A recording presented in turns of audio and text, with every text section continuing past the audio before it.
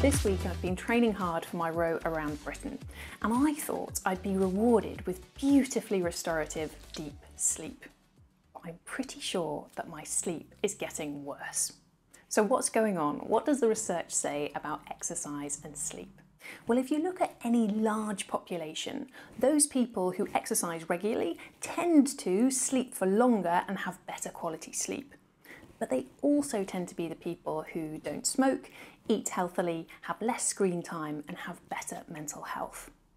So, in order to tease out whether exercise is driving the good sleep, scientists have conducted trials where they take inactive populations with insomnia and randomise them to either start a new exercise regime or some other kind of control intervention and follow up over time. These types of studies provide strong evidence that moderate exercise helps middle aged and elderly adults with insomnia to fall asleep around 10 minutes faster and to stay asleep for around 20 minutes longer. In fact, it's been argued that the benefits of exercise are comparable to sleeping pills for insomnia. And the type of exercise doesn't even have to be that intense.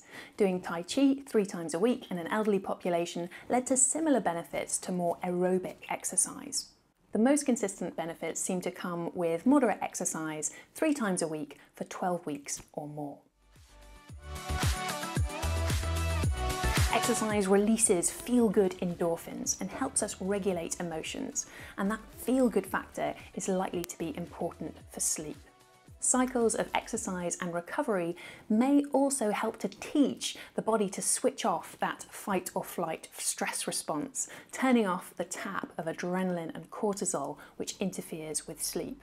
Movement, like light, can also influence our circadian rhythms. So, morning exercise can send a strong alerting signal to the brain that it's time to start the clock on the day. Exercising outside in natural light can supersize its energizing clock syncing effects. Exercise also influences body temperature, and it may be that as the body cools down after exercise, this helps the body to learn how to cool down before sleep. In lab studies, just 30 minutes of moderate exercise can help to enhance the stability of slow wave sleep.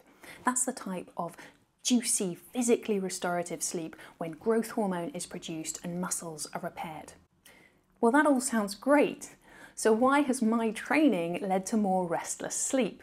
Well, all of these studies have looked at people who are usually sedentary and added activity. But if you're already active, it doesn't necessarily mean that more exercise is going to have the same effects. In fact, many professional athletes struggle with sleep. The challenges that they face include frequent travel, waking for early morning training sessions, and struggling to wind down and switch off after adrenaline fueled evening competitions. Injuries, aches, pains, even a few blisters can also help keep you awake at night. And dehydration and hunger can also interfere with sleep.